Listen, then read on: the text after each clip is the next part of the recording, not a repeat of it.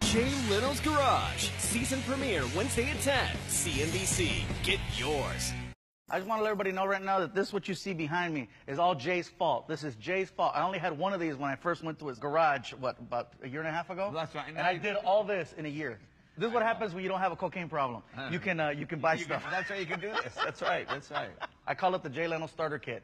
So where did this love of Volkswagens come from? I mean, was it your first car? Did you bring you home from the hospital one? What, what, what, what happened?